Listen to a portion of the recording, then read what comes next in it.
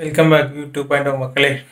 என்ன நான் என்ன பேசுகிறதுன்னு எனக்கு தெரில ஒரு டீம் வந்து பேட்டிங் செலக்ட் பண்ணுறாங்க பேட்டிங் எல்லா டீமும் பேட்டிங் செலக்ட் பண்ணி வின் பண்ணுறாங்க ஆனால் இந்த டீம் பேட்டிங் செலக்ட் பண்ணி நூற்றி இருபத்தஞ்சு ரன் அடிக்கிறாங்க. கேட்டால் வந்து நாங்கள் சாம்பியன்ஸ் டீமு ஃபைனல் போயிருக்கோம்.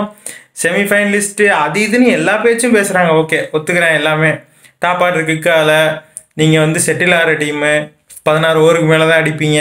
எல்லாமே சொல்கிறீங்க கரெக்டு தான். இல்லைன்னு சொல்லலை. ஆனால் ரெண்டு இம்பார்ட்டண்டான பிளேயர் அவுட் ஆனதுக்கப்புறம் கேதார் ஜாதவ் என்னத்துக்கு டீமில் வச்சுருக்கீங்க? எனக்கு புரியவே இல்லை. அவன் என்ன பண்ணுறான்னு அவனை டீமில் வச்சுருக்காங்கன்னு தெரியல. திருப்பி திருப்பி கேதார் ஜாதவ் இல்லாட்டி பியூஷ் சாவ்லா. ரெண்டு பேர் தவிர டீமில் வேறு யாருமே கிடையாது போல். கேட்டால் வந்து நாங்கள் வந்து இன்னும் காம்பினேஷன் எவ்வளோ நாள் காம்பினேஷன் பதினாலு மேட்ச் முடிகிற வரைக்கும் காம்பினேஷன் செலக்ட் பண்ணிட்டே இருப்பீங்களோ? சரி விடுங்க. பேட்டிங் பண்ணாங்க.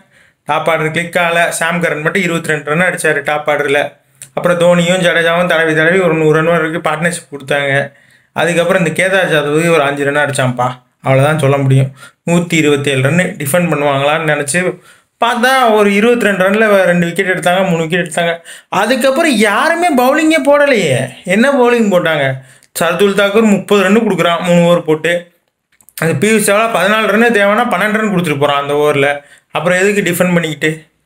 இனிமே வந்து யாரும் இந்த பிளே ஆஃப்ஸ் போகிறோம் அந்த பத்து வருஷம் பிளே ஆஃப்ஸ் போனோம் ஒம்பது வருஷம் பிளே ஆஃப்ஸ் போனோம் அந்த மாதிரிலாம் பேசவே கூடாது யாருமே. அவ்வளோதான் அந்த டீம் முடிஞ்சிச்சு அடுத்த சீசனுக்கு மூணு பேர் எனக்கு தெரிஞ்சு ரீட்டைன் பண்ணுவாங்க. தோனி தீபக் சாரு ரெய்னா முடிஞ்சால் ஜடேஜா நாலு பேர் ரீட்டைன் பண்ணலாம். மித்தபடி யாரையும் ரீட்டைன் பண்ண மாட்டாங்க. எல்லாத்தையும் கழிச்சு விட்ருவாங்கன்னு நினைக்கிறேன். அவ்வளோதாங்க இதுக்கு மேலே எனக்கு இந்த இந்த மேட்ச்சுக்கு ரிவ்யூ கொடுக்க தெரில ஜோஸ் பட்டில் செமையாக விளாண்டாரு த்ரீ சிக்ஸ்டி டி பிளேயரு அவர் சூப்பராக விளாண்டாரு ஸ்மித்து மூணு விக்கெட் போனோடனே நின்று விளாண்டாரு பவுலிங் பெப பெப ஹேசல்வுட் மட்டும்தான். ஹேசல்வுட்டும் தீபக் சார் ஆஸ் யூஸ்வல் ஸ்பின்னெல்லாம் வாய்ப்பே கிடையாது. இன்னைக்கு வந்து ஹேசல்வுட் எடுத்தாங்க. சரி ஓகே அவர் நல்லா பெர்ஃபார்ம் பண்ணிட்டாரு. இம்ரான் ஸ்பின் ட்ராக்கு இது திருப்பி திருப்பி எல்லா கமெண்டேட்டரும் ஒரு விஷயத்த சொல்லிகிட்டே இருக்காங்க. இம்ரான் தாகிர் இந்த பிச்சு எல்லா பிச்சிலையும் விளாண்டுருக்காரு இம்ரான் தாகிர் எடுங்க இம்ரான் தாகிர் எடுங்க இம்ரான் தாகிர் எடுங்கன்னு. அவருக்கு செவிடங்காத சங்கூதுற மாதிரி தான் இருக்குது. என்ன பண்ணுறதுன்னு தெரில கேட்டால் ரிவ்யூ பண்ணுறவனா அப்படி திட்டுறான் இப்படி திட்டுறான்னு மட்டும் சொல்கிறாங்க நீங்கள் போன மேட்ச் தோத்ததே பெரிய தப்பு. ரெண்டு லெஃப்ட் ஹேண்ட் பேட்ஸ்மேன் இருக்கிறப்போ நீங்கள் ஜடேஜா கொண்டு வந்து ஓவர் போட விட்டீங்க. அதுவே பெரிய கேட்டால் கேம்பிளம்மா இன்னைக்கு கரண் சர்மா ஃபீல்டிங் போ பிஎஸ்ஜி ஜாவலான ஃபீல்டிங் பவுலிங் போடுறான். ஆ? என்னமோ? சரி விடுங்க. சிஎஸ்கே இன்னுமே வர்ற மூணு நாலு மேட்ச் வந்து ஜாலியாக தான் விளையாடுவாங்க. அவ்வளோதான் பிளே ஆஃப் சோப்லாம் வாய்ப்பே கிடையாது.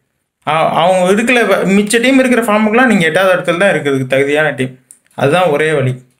நாளைக்கு வந்து பஞ்சாபுக்கும் டிசிக்கும் அது பாருங்கள் காம்படிஷன் அவங்க சூப்பர் ஓவரில் விட்டாங்க பஞ்சாப் எப்படி பிடிக்கிறாங்கிறது பாருங்கள் ப்ரீ மேட்ச் ரிவியூவில் பார்ப்போம். Until signing